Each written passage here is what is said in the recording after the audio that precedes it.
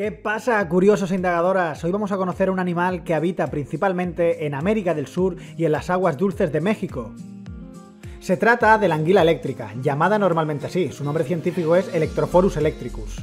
Es un pez que puede llegar a medir 2 metros y medio y a pesar unos 20 kilos. Son unos animales muy llamativos, aunque no los más bonitos. Este anfibio es principalmente nocturno y a pesar de lo que hayas pensado, el oxígeno lo coge directamente de la superficie, si no moriría ahogado. Seguramente te preguntes cómo se reproduce este particular animal. Pues los machos hacen un nido de burbujas con su saliva, donde la hembra pone los huevos. Es un poco desagradable, imagínense que nosotros hiciéramos lo mismo, aunque todos tenemos un amigo baboso. Y ahora a lo importante, ¿cómo crean esas descargas tan temibles? La anguila eléctrica posee unas 6.000 células llamadas electrocitos, donde una parte de ella tiene una carga negativa y otra parte una carga positiva.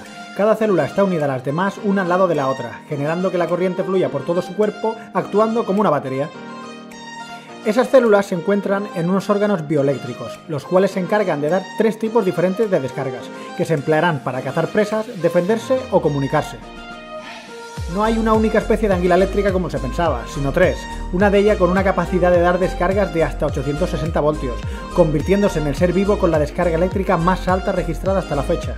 ¿Podría matarte una anguila eléctrica? Pues la respuesta es sí. Una descarga a una persona con problemas de salud o en el agua con posibilidad de ahogarte podría ser una muerte segura.